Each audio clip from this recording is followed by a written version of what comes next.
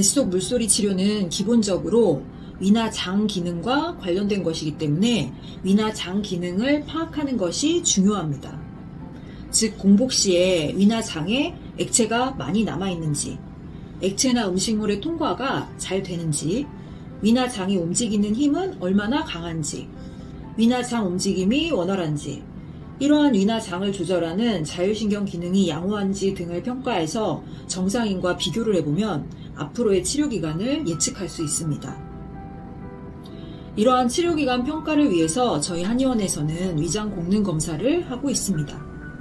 이를 통해서 위나 장의 기능을 체크하고 진료 시 환자와의 상담을 통해 환자분 위장의 기능이 어느 정도 상태인지 그리고 향후 치료 기간을 말씀드릴 수 있습니다.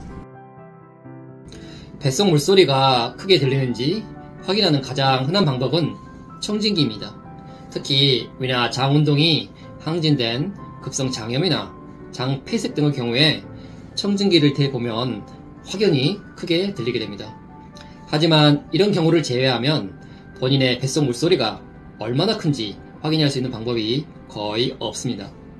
그래서 저희 위편장 개한원에서는 위장 공능 검사를 하게 되는데 특수한 청진기와 분석 프로그램을 사용함으로써 뱃속 물소리가 정상인에 비해서 얼마나 큰지 그리고 이러한 뱃속 물소리의 원인이 되는 위나 장 기능의 어느 부분에 문제가 있는지 측정하고 평가할 수 있습니다.